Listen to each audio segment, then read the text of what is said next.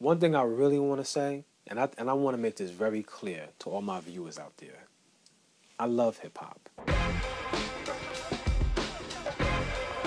I grew up with Big Daddy Kane, you know, the Jungle Brothers, Tribe Called Quest, De La Soul, Kwame, whoever you want to talk about in hip hop. I listen to their music, I party to their music, I listen to hip hop to this day. Uh, uh. I sometimes feel bad for criticizing hip hop, but I guess what I'm trying to do is to get us men to just take a hard look at ourselves. So I raised money, bought a video camera, hired a film crew, and began my journey to examine the representations of manhood in hip hop culture.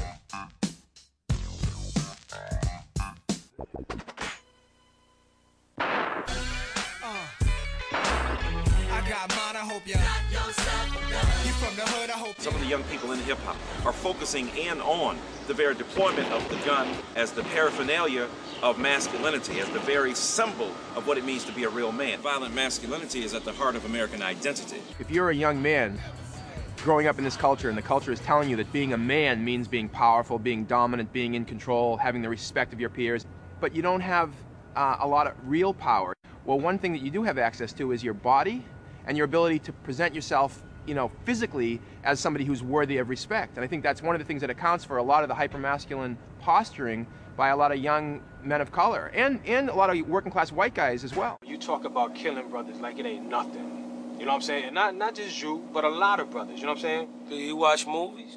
What kind of movies do you watch? Good question. I mean, if you watch Hollywood movies, you see this same kind of violence, the same kind of hypermasculine violence perpetuated in movie after movie after movie. In sports culture, video games, military culture. I mean, America is a very hypermasculine, hyper-aggressive nation. We're gonna smoke them out. So it stands to reason that a, a, a rapper like 50 Cent can be commercially viable in a nation that supports a culture of violence. New at 10, a controversy surrounding rap artist Nelly led to an emotional meeting at Spelman College tonight. The discussion focused on hip hop videos and how they portray women.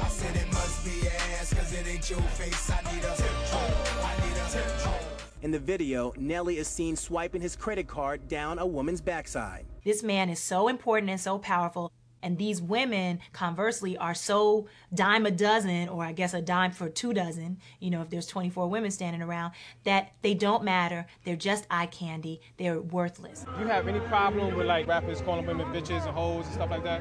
Nah, cause tell you the truth, some of them is bitches, see? It's not really directed towards you personally. It's just what they say. Sex sells. I think a bitch is a bitch. It's funny when I hear women say, when these rappers are calling, you know, women bitches and hoes, they're not talking about me. It's like, yo, they are talking about you.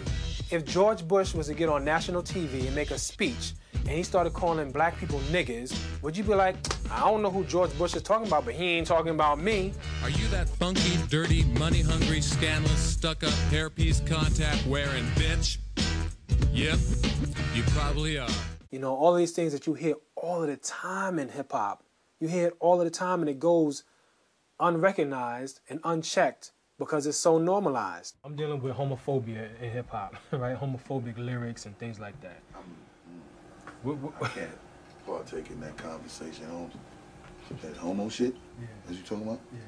I can't talk to you about that. The only way that you can be a man, a black man, a Latino man, is to be hard, you know what I'm saying? To denigrate women, to denigrate homosexuals, to denigrate each other, to kill each other. There's something wrong with that. 70% of the buying community now is a white community. The white people want to hear that killing evidence. It appeals to our sense of, um, of learning about other cultures and wanting to know more about something that we'll never probably experience. It's, it's my style. I mean, I mean, you guys colored people could say that it's their music, but I mean, I can get down to it just as much as they can. I, Who are you, man? Did you, did you just say colored people?